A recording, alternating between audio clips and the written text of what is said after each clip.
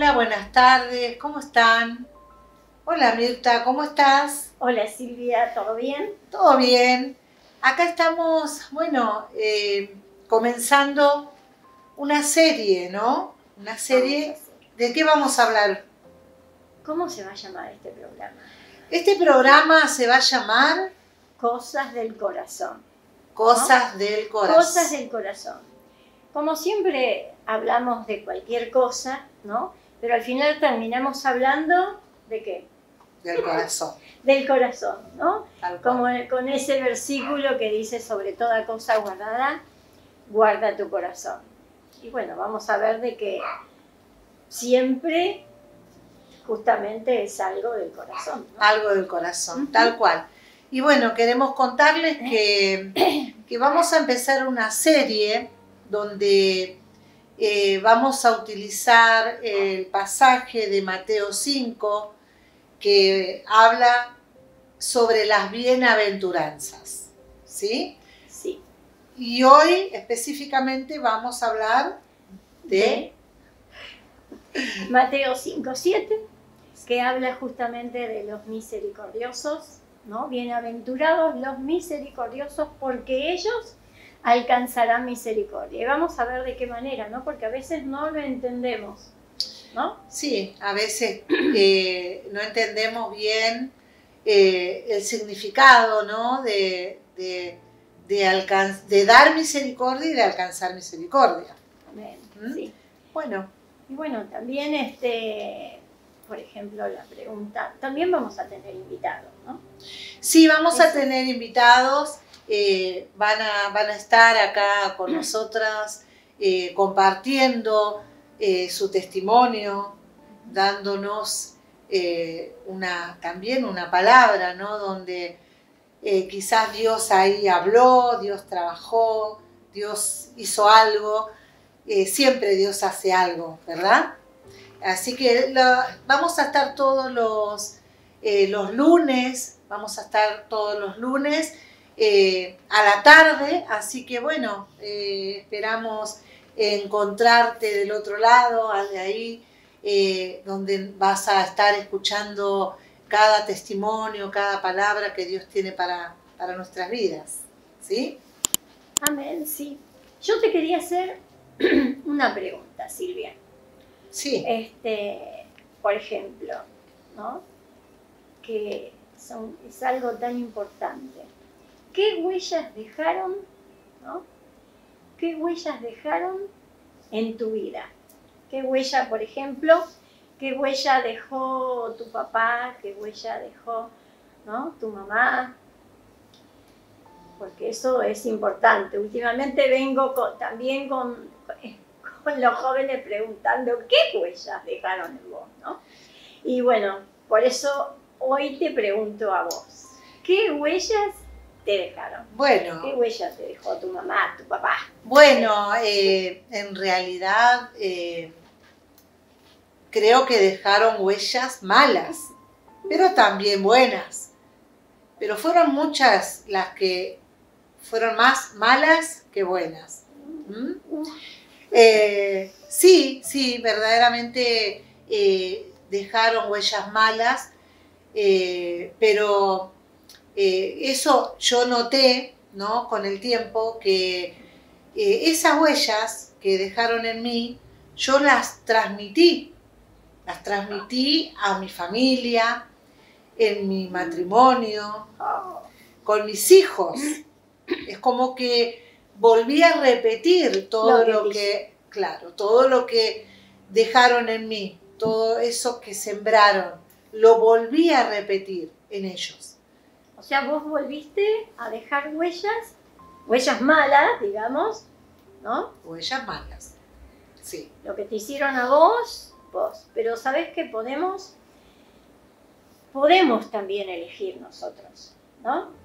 Porque yo creo que al dejar esas huellas malas, lo que te dejaron a vos es como que te hace no estar bien y aún lo que dejaste vos en ellos te hace tampoco estar bien, ¿no? Claro, porque afecta, eh, o sea, afecta todo lo que es la familia en sí. Claro, todo lo que te hicieron. Mis actitudes, ¿no? Mi forma de hablarles, mi forma de actuar, eh, afectaron siempre en, en todo el- la convivencia, vamos a decir. Claro, todo eso. Y, pero después, digamos, ¿qué pasó? ¿No? Bueno, cuando vine, cuando vine a Dios, cuando Dios me llama, comienzo a entender de que había cosas que tenía que cambiar. O sea, llegó un momento que tuviste que tomar una decisión de Sí. elegir, Tuve, ¿no? tuve que tomar una decisión. Si realmente quería ser feliz, si realmente quería eh, una familia, ¿no? Una familia que le agrade a Dios, yo tenía que tomar una decisión, tuve que elegir. Elegir, eh, no sé, elegir perdonar, elegir Elegir ser, porque para poder ser feliz, que todos lo, lo que uno quiere, ay, yo quiero ser feliz, ¿no? Sí. Primero que te dice. Pero para elegir ser feliz, hay cosas que tenemos que hacer, ¿no? Sí, Porque está bien, llegamos al camino del Señor, tuvimos un encuentro con el Señor. sí, sí, Y al tener un encuentro con el Señor también tenemos que tomar una decisión, sí, sí, ¿no? sí, tal cual. Elegimos y tomamos la decisión, bueno, está bien, de ser feliz, pero para eso, o sea, ¿no? Entregamos nuestra vida, Sí, ¿no? Al Señor. Y a partir de ese momento tuviste que tomar otra decisión. ¿Qué decisión tuviste que tomar vos para Eh, poder ser feliz? Y para poder dejar otras huellas. Bueno, tuve que tomar la decisión de perdonar.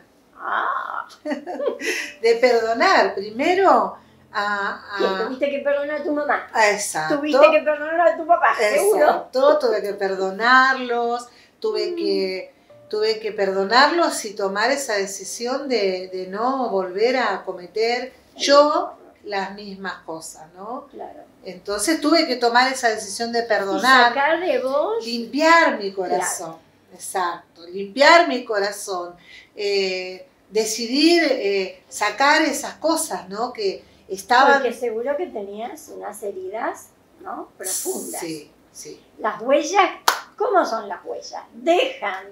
Marcas. ¿no? Dejan marcas. Dejan marcas. Y esas marcas hay que, ¿no? Esa huella, esas marcas, es como que hay que ir eh, suavizando para hasta que desaparezcan. ¿no? Tuviste que sacar broncas, ¿no?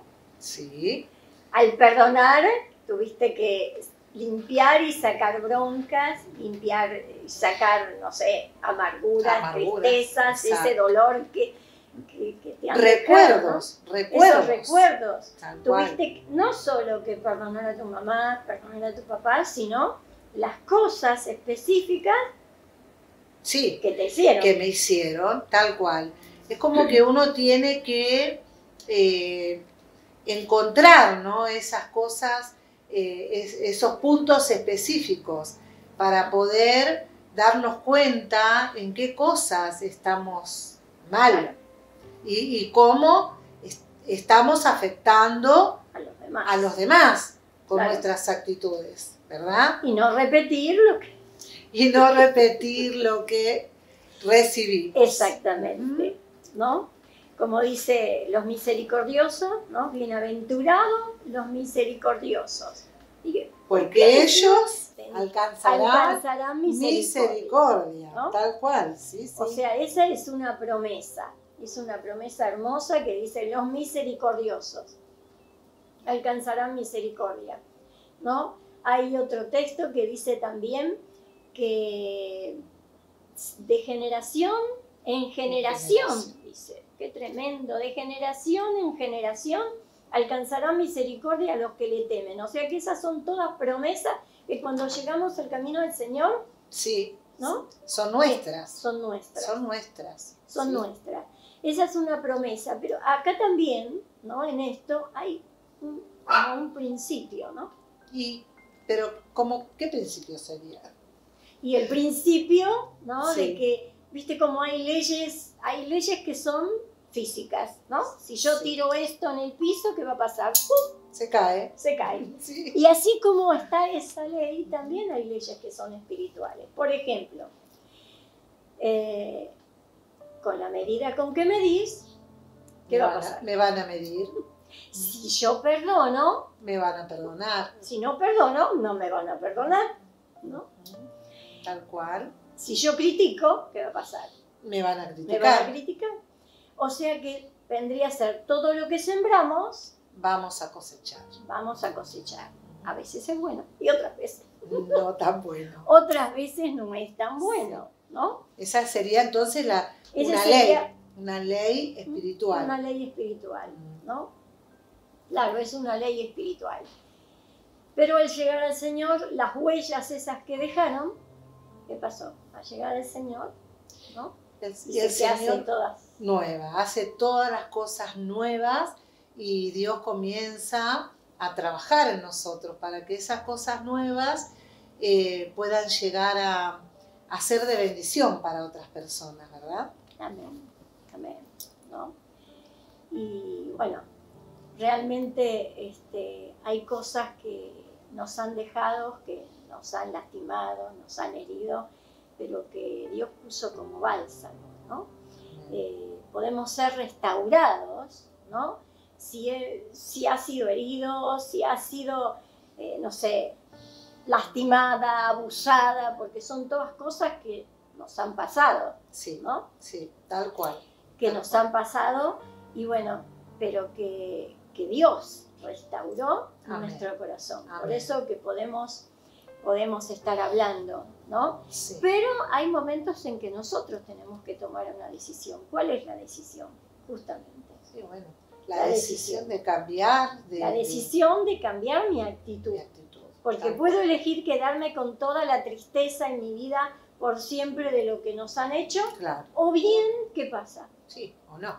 o no, ¿O no? o bien cambiar, ¿no? Y empezar y comenzar a dejar una huella de, de- de bendición, de restauración a nuestra familia, ¿no? Amén. A los que nos rodean, que esa es la idea, ¿no? Que el Señor, lo que hemos recibido de Dios, Lo podamos dar. que lo podamos dar. Sí. O sea, que todo lo que nosotros queremos que nos hagan a nosotros, Tenemos que hacerlo a los demás. y pero a veces queremos cambiar a los demás sin, sin, cambiar. cambiar nosotros. Claro, sin ¿no? cambiar nosotros. Pero muchas veces he dicho, si yo cambio, ¿no? Voy a hacer que mi alrededor Cambien, tal y eso es importante, tal ¿no? cual. Si yo cambio, voy a lograr que todo mi alrededor cambie, Sí. que nuestros hijos cambien también por mi cambio, Sí, ¿no? sí, sí, es así. Así que, Es bueno, es un pequeño mensaje que queremos, ¿no? Queremos transmitirles, ¿no? Y este es el tiempo en donde Este Dios es el tiempo. creo que quiere que haya cambios en nuestras vidas, que podamos dejar huellas que realmente sean de bendición Amén. para muchas personas, para aquellos que nos rodean, ¿verdad? Así es. Así que bueno, nada, te queremos dejar este mensaje, que vos puedas guardarlo en tu corazón, que puedas también eh, encontrar esos cambios. Eh, con Cristo todo lo podemos. Él, eh, el Espíritu Santo es el que nos ayuda en nuestras debilidades. Amén. Amén. Y, y así como nosotros, si somos misericordiosos, hay una promesa que dice que vamos a alcanzar Alcanzar misericordia. misericordia, tal cual, O sea que es importante nuestro, nuestro cambio. nuestro cambio, tal cual. Así que nada, te queremos eh, desear una semana bendecida, que sea una semana donde Dios esté trabajando en tu vida y que también en algún momento nos puedas, puedas venir acá junto a nosotras y contarnos el testimonio de lo que Dios quiere hacer, hizo en tu vida, ¿sí? Amén. Amén. Amén. Bueno, que el Señor. Te bendiga y te guarde. Amén. ¿Mm? Que Dios te bendiga. Hasta Chau, la semana chau. que viene. Hasta la semana que viene.